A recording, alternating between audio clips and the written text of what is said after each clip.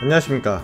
이 차량은 2021년 3월에 출고된 2021년식 기아 신형 K5 1.6 가솔린 터보 시그니처 등급 차량입니다. 주행거리는 약 22,000km dark gray 색상 차량이고요. 쥐색이죠.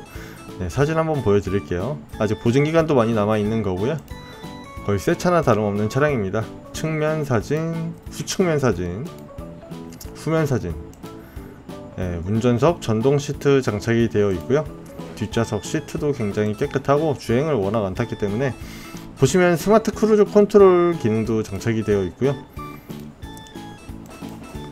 내비게이션 그리고 열선 핸들 기능 운전석 조수석 열선 시트 통풍 시트 다 장착이 되어 있고 전자 파킹 auto hold 기능 그리고 엔진 auto stop 기능까지 장착이 되어 있습니다. 키 두 개 다 장착이 되어 있고요 뒷좌석 열선 시트 장착. head-up display도 들어가 있고 네, around view에 그리고 후측방 모니터까지. 와 옵션 엄청 좋네요 이 차가. 그리고 차선 유지 보조 기능도 들어가 있고 운전석 메모리 시트 거기다 전동 트렁크까지.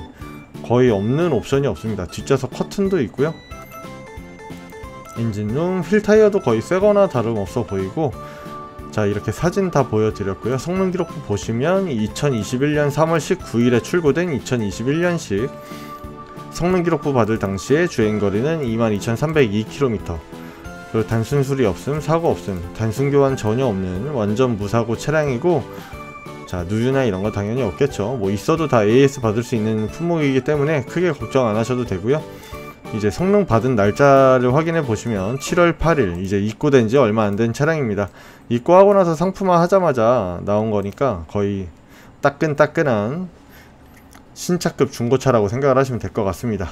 판매 금액 3149만원에 판매하고 있으니까 관심 있으신 분은 저한테 꼭 전화 주십시오. 감사합니다